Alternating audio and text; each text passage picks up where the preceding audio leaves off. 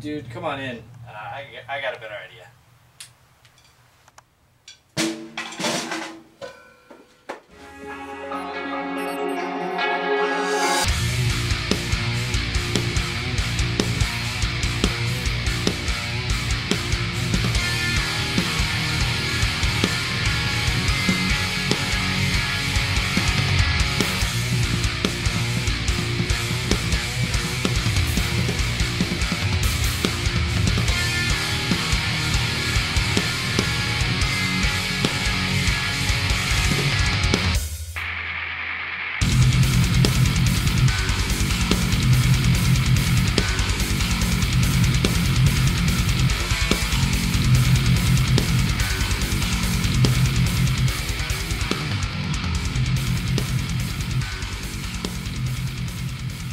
Most of the instruments were already recorded before I even went down to Kansas City. Uh, guitar equipment, I was running uh, my Ibanez RG2228, which is the production 8-string model that they make.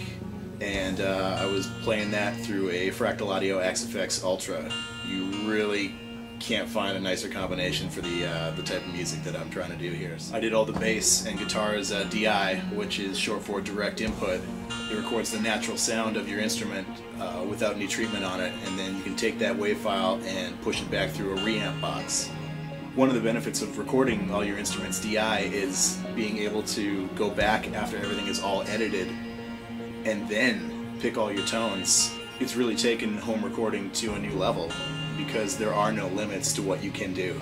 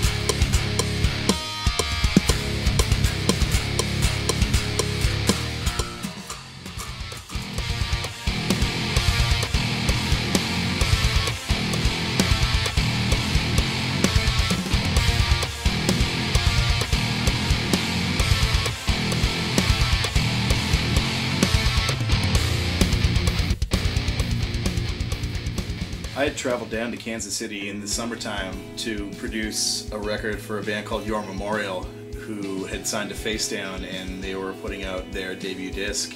And it was there down at Ashland Studios that I met Josh Barber.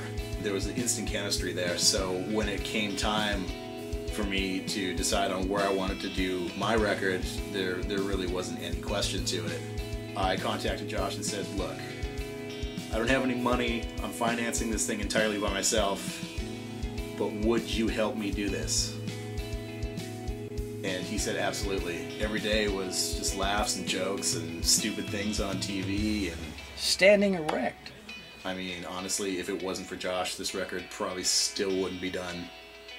And who knows how long it would have taken.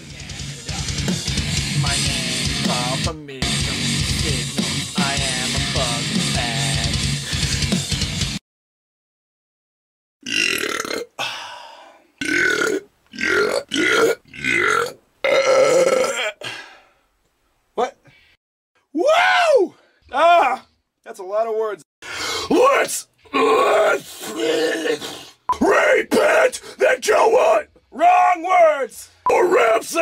Woohoo, baby! Though some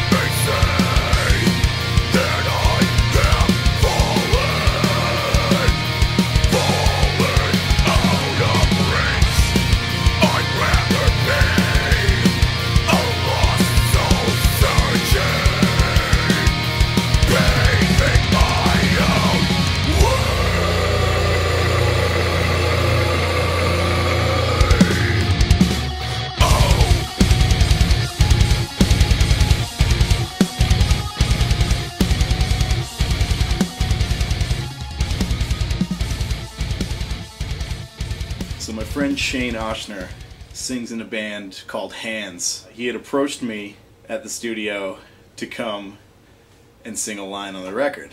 I said, "Sure, man. What's what, what do you want to sing?" And Shane kind of comes close and he whispers real quietly to me. He just says, "I've never said fuck on a record before, and I really, really want to." And sure enough, the next day he got into the vocal booth and laid down one of like the gnarliest fucks ever recorded. Follow suit! Catch up like fucking flies! And that was it. That was his one line, and he was happy. Everyone was happy. That's how you say fuck. First time you'll ever hear it, probably the last time. I put everything I had into that one, though. I said I would. The f- God, why are you filming this, Karl?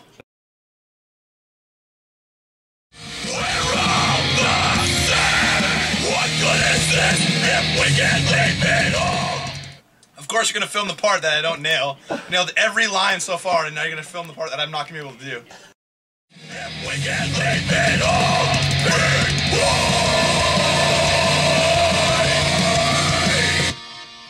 All right, well, I'm gonna tell the camera that I smashed every other line perfect, no problem. So, I'm done. All right.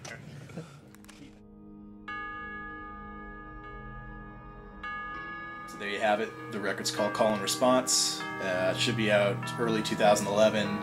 Not sure how I'm putting it out yet, but uh, that will all be figured out in the weeks to come. And uh, yeah, keep checking back on my Facebook page and my Twitter for all the updates about this record and about Misery Signals and everything else. So that's it. Thanks.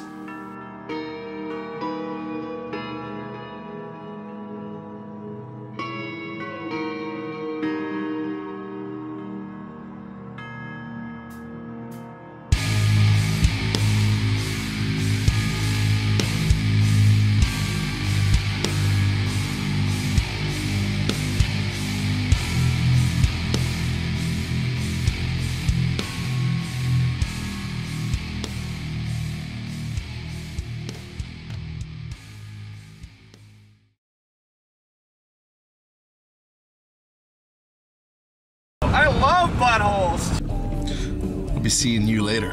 Top and bottom.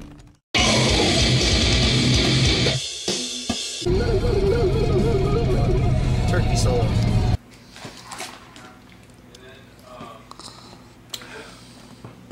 They ain't good, but they ain't bad. Hide your kids, hide your wife, hide your kids, hide your wife, and hide your husband cause they're raping everybody out here. You ain't gotta go and confess. We looking for you. We gonna find you. We gonna find you. Can run and tell that, run and tell that, run and tell that. Homeboy, home, home, homeboy.